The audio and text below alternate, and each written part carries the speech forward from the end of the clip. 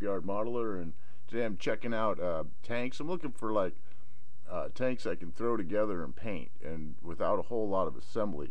Now, these are interesting. This is a Zvezda Z-V-E-Z-D-A 1 100 scale, 15 millimeter, Flames of War compatible, by the way.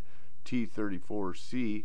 Um, these come out of Russia, and you can get them reasonably. Uh, I, I got these for, I think, four bucks each, four nineteen each, but I bought like a shitload of them, so um, normally you'd pay a little bit more.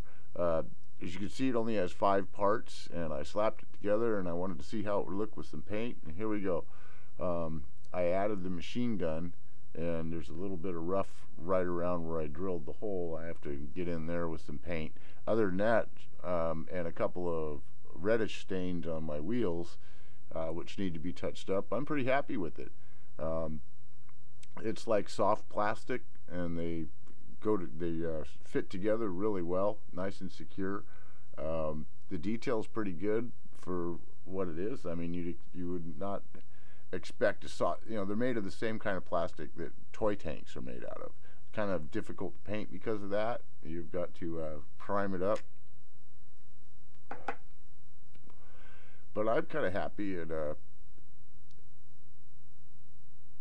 I mean I'm surprised at the detail of these. I like them. Uh, for you can get them around six or seven dollars individually, by the way, with shipping. I think on eBay, and they make a lot of different types of vehicles.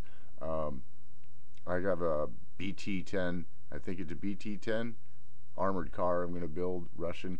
Uh, they're actually molded in green, a pretty good color. You could probably get away with just washing it and flat coating one of these. This is dry brushed. Uh, quite a bit of intensive paint work has been done on this model, even though it may not look like it. It's been it's been worked on, and I'm pretty happy with the result. So this is what the Zvezda T34C or T3476 model 1940 by Zvezda looks like.